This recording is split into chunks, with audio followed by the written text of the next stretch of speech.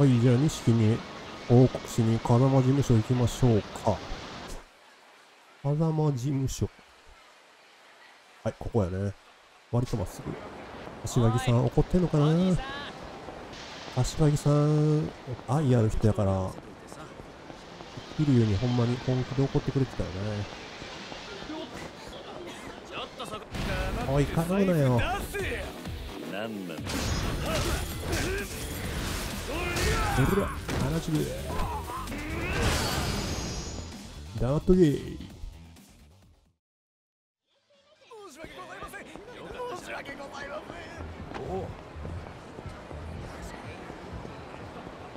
風間事務所。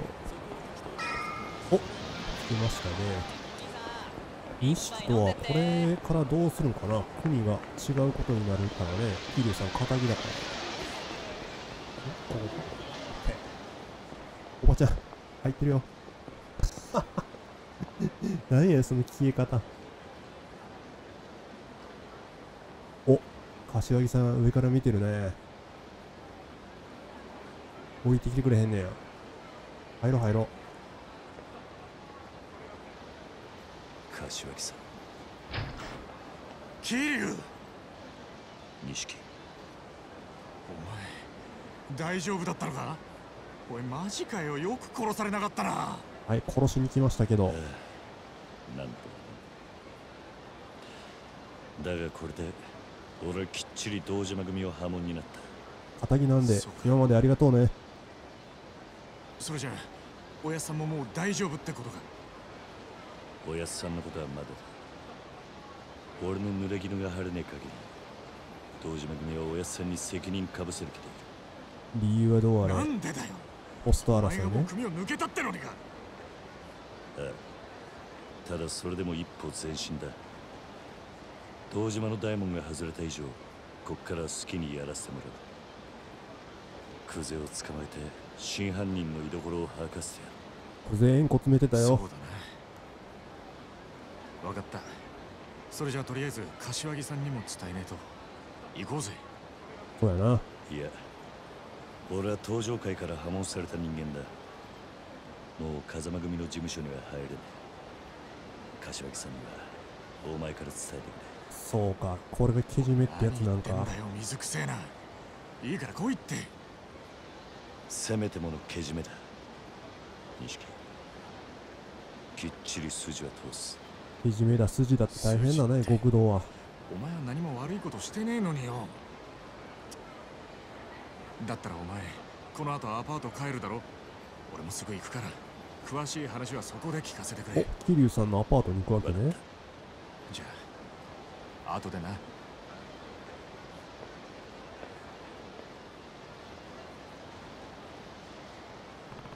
今日はもうアパートに帰るか。ここからならホテル街を北に歩いていくのが一番早そうだな。うーん、桐生さんの家。はあ、こんなところに家あったよね。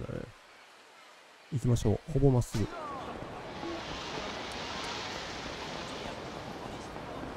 まあでも錦はいい親友やな。なんか変なやつおるよ。人だかりできてる。お兄さんじゃないよね。明らかに3メーター30ぐらいあるような人が来てよ。おい、お前。あ？まさかさっきのでっかい人に呼ばれてる？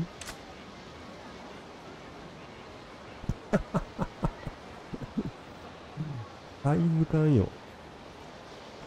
サイズ感。何か用か？俺の前を黙って素通りしていいと思っているのか？ちょっとこっち来いよ。やめとき。これはやばいサイズ感や。後ろのプロレスって書いてる広告の人かもしらんからな。いきなり何なんだ？ここら一体お前の島ってわけでもねえのに、どうしてお前に挨拶しなきゃいけねえんだ？お前と問答するつもりはない。痛い目に遭いたくなければ、持っている金を全部置いてきて。結構使ったかな何考えてるね。要はカツアゲか。俺も甘く見られたもんだな。あいにくだがお前に渡す金は1円もねえよ。では力ずくで奪い取るとしよう。覚悟するなら、とんでもないやつやな。これ何メートル？桐生さんでも1メーター90ぐらいありそうやけど。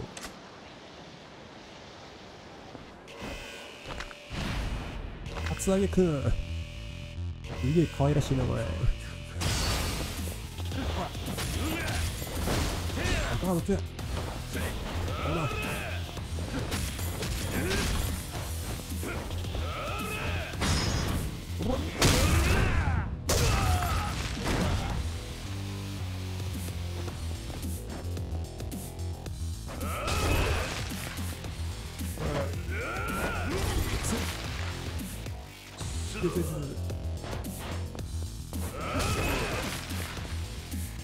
いや。強い。強い強いイエスいい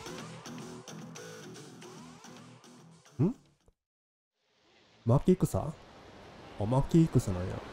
決まってたやつね。なかなかやるな。今回はこれぐらいにしておくか。何？お前程度に手こずってしまうとはまだまだトレーニングに改良の余地があるな。もっと厳しいメニューを増やさねば。結構あれやね。ストイックなんやね。そのためには金が必要だ。もっとカツアゲをして金を貯めないと。いや働いて稼げ。足遅そうやけどね。くそ待ちやがれ。おいあんた大丈夫か？あああ。誰？今の男は江頭ひろやと言ってな奴は通称カツアゲくんと呼ばれている。通称カツアゲくん。カツアゲくん？ガリガリくん？相手が誰であろうと目をつけた奴から力づけで金を奪っていくんだ。めちゃめちゃやな。あんたも腕に覚えがあるのかもしれないが相手が悪すぎる。あいつに見つかったらとにかく逃げろ。逃げるが勝ちってことね。確かに生半可な強さでは奴に勝つことは難しいだろうな。どっかにあいつから奪われた金を取り返せるくらい強い人がいればいいんだが。キリさん負けたとこやからね。ひょっとしてあんたも奴に金を？そうなんだよ。冬のボーナスをもらったばかりで浮かれていたのがいけなかったんだ。あんたも大金持ってる時は気をつけなよ。それとカツアゲ君はさっきの絵頭だけじゃない。他にもいるって噂だ。アムロ町以外の町にもいるらしい。カツアゲ君複数おんねんな。全員絵頭という名前ではないと。カツアゲ君か。途方もない強さだった。またいずれこの辺りで会うかもしれない。見かけたら気をつけるようにするか。カツアゲ君とのバトルに負けると所持金が全額奪われてしまいます。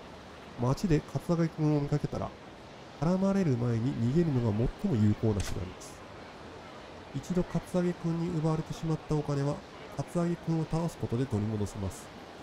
望み薄やったけどね。バリバリ攻撃力高かった。カツアゲ君の所持金は状況によって変動しています。カツアゲ君の所持金が多い時に喧嘩で勝利できれば奪われた所持金よりも多くのお金が入手できます。とりあえず今日は無事に帰ろう。カツアゲ君についてカツアゲ君とのバトルに負けると所持金を全て奪われてしまいます。66万元何本持ってたか忘れたけどまあいいや。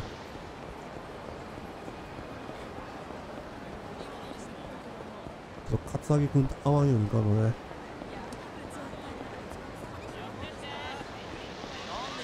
錦もこの辺が家なんかな。いや腹がさめてんじゃねえぞなんだ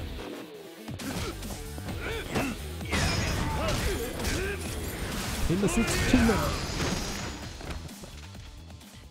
ここかやなおおカツアゲ君にカツアゲされた金をさらにカツアゲするというねあカツアゲやばいカツアゲ君やない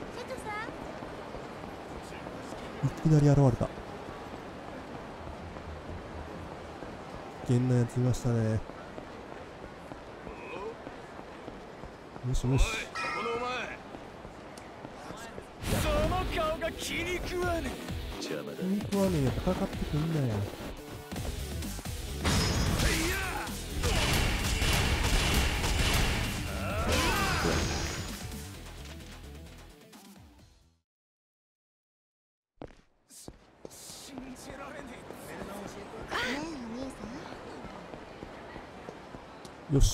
し無事カツアゲ君に会わずにたどり着いたねこれは。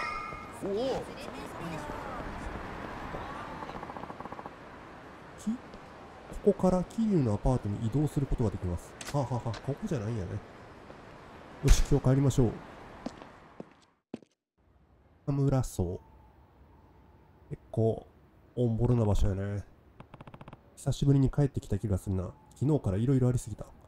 そうかまだ1日程度しか経ってないんか家賃どれぐらい？でも都会やから8万ぐらいすんの？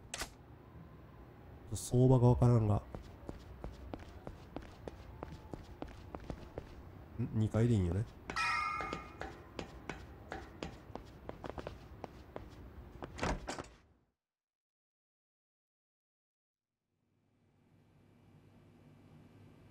カップラーメンいっぱい置いてるな。男の家やね。俺だ。ラジカセ。入るぞ。割とすっと入ってきたね。返事しないけど。ビールしかねえぞ。分かってるって。他に期待しちゃいねえ。錦あれから柏木さんなんか言ってたか？いや何も。だんまりなわけね。そうか。でもお前が生きて戻ってきたの見てからまたすげえ勢いで冷麺食ってたよ。それまではむっつり黙って何にも喋らなかったんだけどな。ちょっと安心したわけやね。あの人らしい。どんだけ冷麺好きなの自分で作ってんのかな。そうか。あのクゼが円弧詰めることになるとはな。何が起きるかわからねえもんだ。波紋になったのかな波紋ではないのか。これからだ若頭補佐の3人のうちの誰かが殻の一粒を手にすりゃ風間のおやつさんは組を追われる、うん。それに俺の殺しの濡れ衣も晴らさねえと。殺に目つけられたらもう終わりだ。じゃあ桐生さん抜けて正解なんやな組を。実はな東光クレジットの社長さっき殺されたぞ。は？何？手がかりやのに。ニュース風の兄貴かになってる会社の中で撃ち殺されてたらしい。あの社長はクゼの指示でお前を殻の一坪におびき出したんだろう。多分クゼがその口封じに殺させたんだ。クゼ？はあいつはそんなに簡単に人を殺すのか？簡単に一言あすね。のバカなんだってやるさ。てめえの身を守るためだ正面切ってクゼから真犯人聞き出すってのは相当難しいぜ。他のやり方考えねえと。他のやり方？思い浮かばんね。いやそんなもんがありゃ苦労しねえか錦お前立花不動産って知ってるか？おあったねそんな話。あ立花不動産？バスローブにされた話ね組を抜けた後立花哲ね立花って社長。男が来たんだ。殻の一粒を手にするために協力しろとな。奴は俺の濡れ衣を晴らせるとも言っていた。何でも把握してたからね。逆に怪しい。俺知ってるぞ。この立花不動産。奴ら殻の一坪にまで手出そうとしてんのか。ナイス錦どういう連中なんだ。なんで知ってんのこいつ何でも。立花不動産は町に事務所構えてるような真っ当な会社じゃねえ。え？俺も聞きかじりだけどよ。聞きかじりっていう言葉あんの？カムロ町に特化した不動産乗っ取りのスペシャリストだ。は不動産乗っ取り？ああ。今カムロ町は狭い土地に飲み屋やら風俗やら店がひしめき合って空きがねえ。しかもそのほとんどを東上界の極道たちが仕切ってる。あうん。だが立花不動産はそのカムロ町の鉄の壁に穴を開けることができるんだ。おおすごいんやね。鉄の壁に穴を開ける。どんなに繁盛してる店だろうが立花不動産が目をつけりゃ数日持たずに中の人間は追い出されちまう。何をやってんの？暴力か？金脅迫嫌がらせ。ヤクザ顔負けのやり口で店潰しちゃ空きになった不動産を転売するって話だ。バブルの時期はねどんどん土地の値段上がるって言ってたからね。そんな悪には見えんかったけど今時の不動産周りは金の足づかみ競争だ得体の知れない連中が群がってるけどその中でも立花不動産は札付きだ。東上会本家も連中を排除しようと追ってるらしい。おお本家か本家がそこまで行くんや。そのくらい厄介な連中ってことだ。けどそいつらがおめえの味方につくとなると面白くなるな。なんせ仇ですから。信用できる相手ならの話だ。なんで俺を引き込もうとするのか立花の腹が読めねなら明日少し突っ込んで立花不動産を調べてみようぜ。探ってみる価値はある。探ろうか。えいや調べんのは俺一人でやる筋ね。あ？筋を通そうとしておるのね桐生さんは。に動けば堂島組に目をつけられる。お前は関わるな。桐生組抜けると決めた時から一人でやるのは覚悟の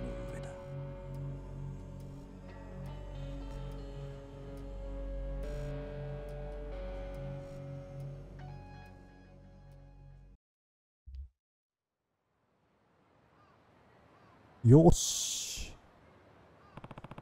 錦が言うように立花不動産と手を組むべきか。だが連中を信用するには材料が足りねえ。街で立花不動産の情報を集めてみるか。立花不動産の情報を集めろ。